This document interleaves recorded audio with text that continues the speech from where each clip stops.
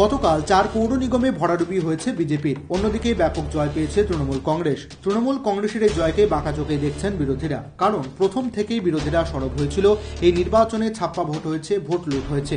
এই প্রেক্ষাপটে চার পুরসভা নির্বাচন নিয়ে ফের কলকাতা হাইকোর্টের দ্বারস্থ হয়েছে বিজেপি।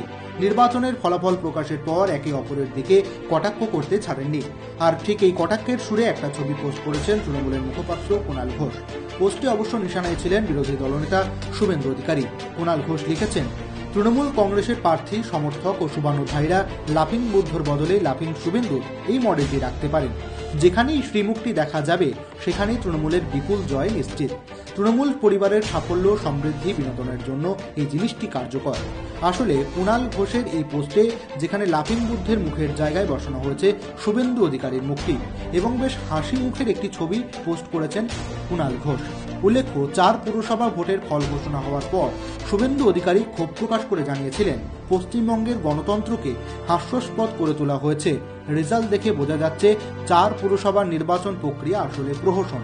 এবার চার পুরসভায় তৃণমূলের জয় জয়কার হওয়ার পর শুভেন্দু অধিকারীকে কটাক্ষ করতে ছাড়লেন না কুণাল ঘোষ।